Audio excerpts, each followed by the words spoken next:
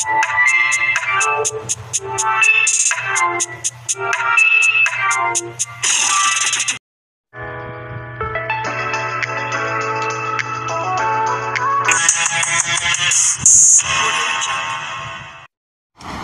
guys! Welcome to my YouTube channel. It's me, Vance, and welcome to Vance the Vlog. For today's video guys, mag okay-okay haul tayo since um, I just wanna to share my ano, ano ba yan?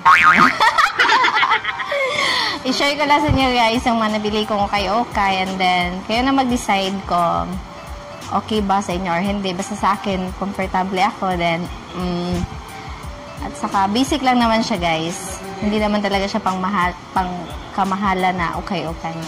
So, I, I wanna show you the pictures at this, uh, ipapakita ko sa inyo yung pictures at prices niya dito sa gilid lang, guys. So, let's start. Disclaimer lang, guys. Hindi po, hindi pa talaga advisable ngayon pumunta ng okay-okayan kasi nandito pa tayo ngayon sa pandemic. Pero, hindi ko naman sinasabing huwag pupunta doon pero hindi pa talaga siya advisable. So, kung gusto niyo pumunta na okay-okay guys, follow lang po tayo ng mga protocols natin ngayon. So, magsuot talaga tayo ng face mask at saka face shield sa uh, dapat ano, ano uh, aware tayo sa pandemic ngayon guys. So, kung gusto niyo uh, ang mga okay-okay na to guys ay matagal ko na to silang nabili. Yun na lang ang ginawa kong content para ma-share ko naman sa inyo yung mga nabili kong murang okay-okay. So, first item natin ngayon is ito siya. Ayun guys, ito yung napili ko. Then may kasama pa to siyang isa. At 50 din siya. Maganda talaga yung tela niya guys. Ang soft sa katawan. At saka comfortable ka talaga pag sinuot mo siya ito kapag mainit yung araw. Kasi hindi ka talaga na ano, parang hindi mo talaga makifeel yung ang, in, ang init ng panahon kasi white siya guys. So, ayun lang. Okay naman siya sa 50 pesos, di ba? Yun. So, ang maprepare ko dito guys is ito 100. Nabili ko siya sa okay okay din. As 100 lang. Matagal na kasi ako naghanap ng ganito guys. Kasi sa Shen o sa Shopee, mas mahal kasi yung shipping fees. So, napag-decide ako na bumili na lang dun sa kayo okay din. Hmm. Yun siya guys. Maganda yun yung quality niya. Makapal masyado. Then, ganito siya sa akin, guys, pag sinuot ko. Tada! What?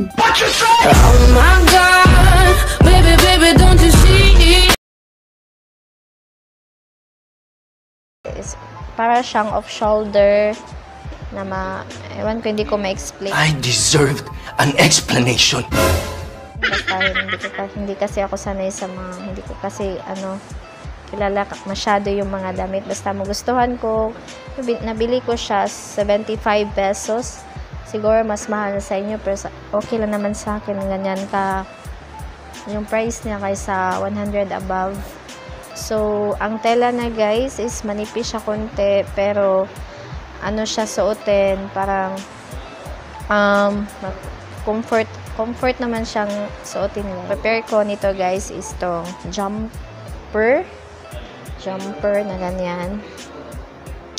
Makapal yung tela niya. Then, nabili ko siya sa halagang um, 125 pesos. Ayun. Pwede siyang baganyan. Then, pwede mo din siyang hindi yan. Yun lang, half. So, mataas. Sakto naman yung length sa akin saktong-sakto naman yung length sa akin guys then fit naman siya sa katawan ko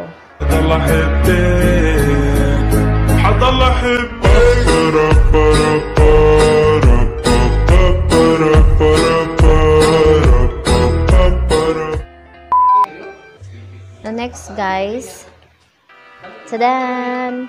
Para siyang polo shirt. Polo, aimbot, hindi, hindi ko maano ma-explain. Kayo na mag-decide. Maganda din siya. Nabili ko siya sa price na 75 din pesos. Then, pwede din siyang pang simba, pang formal-formal. Yung mga basic na ano, lakad-lakad natin sa buhay, char. Then, ito naman yung pang pair ko sa ganitong um, ganyan. I-pair ko sila. Tapos, Yung, yung price na to guys is maybe 50 or 65 kasi nalimutan ko na to. Matagal ko na kasi itong nabili. Mas pinaka matagal na to sa kaban ko guys. Tinatago ko lang. So yun, makapal naman yung ano niya. Tapos pwede mo siyang ma-stretch. Pang formal din. Pwede din siyang pang simba. Okay. So ganito siya pag sinusuot ko siya guys.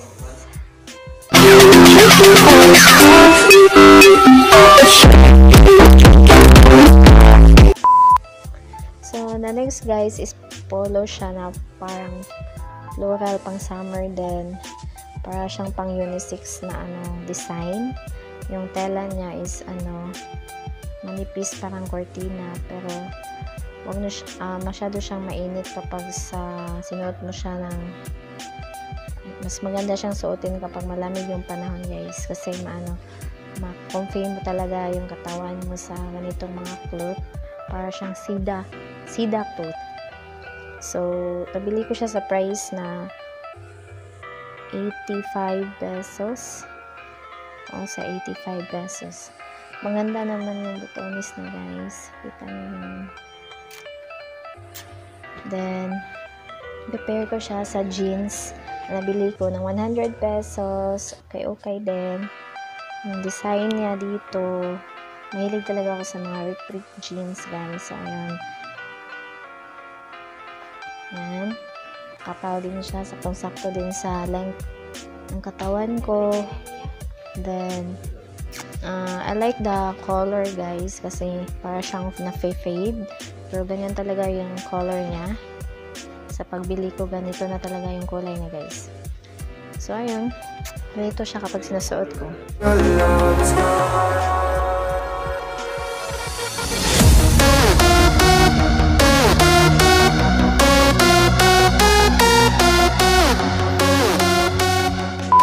Next guys is ito para pang loose-loose lang guys. Pang sa bahay lang or pang merkado lang.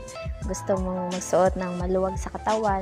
Oversize kasi ano, oversize kasi siya guys then comfortable siyang suotin sa lalo, lalo na sa panahon ngayon medyo mainit pero mainit talaga yung kulay niya pero okay lang yun nabili ko siya as worth of 50 pesos Tadaan! Minsan ko lang ito nasuot, guys. Ito, ganito po siya kapag sinasuot ko siya. Tadaan! Siya ay magandang babae na lalaki pumulma Siya ay magandang babae na lalaki pumulma This is parang off-shoulder siya. Pang summer, bagay talaga sa pang beach-beach. Yan.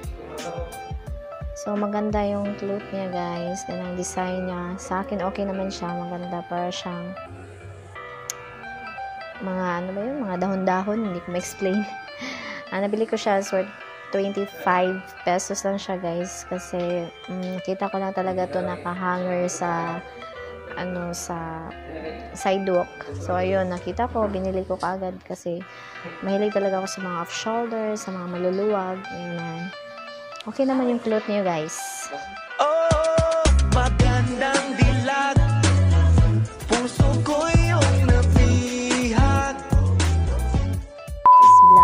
white. Then, ah, hindi naman siya masyadong maganda, pero na ano kasi ako sa design, yung cactus niya, na-amaze ako, guys.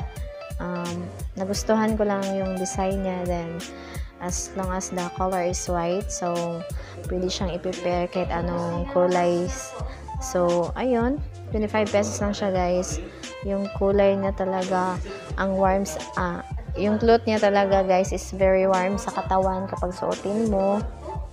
And, ah, parang yung cloth niya is pang 99 sa mall, pero 25 pesos lang. So, okay, okay.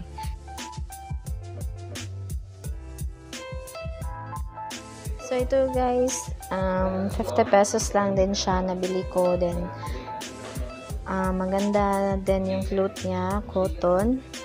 Ah, warm din sa katawan kapag suotin mo siya. Then, yung brand niya guys, grabe, Giordano talaga. So, ayun. Fit na fit naman siya sa katawan ko. Then, um, comfy naman ako kapag sinusuot ko siya. Then, maganda naman yung kulay niya, guys.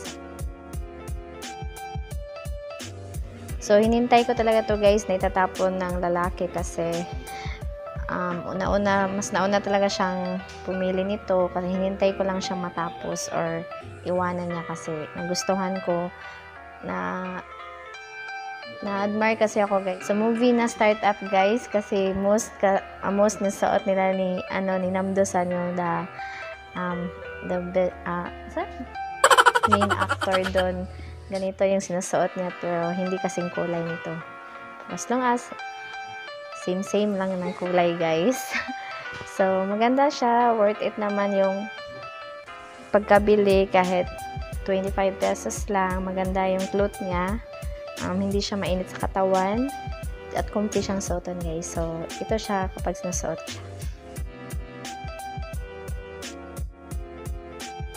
So, that's it guys. Thank you for watching. And I hope you like this video. And don't forget to subscribe. See you the next one. Bye!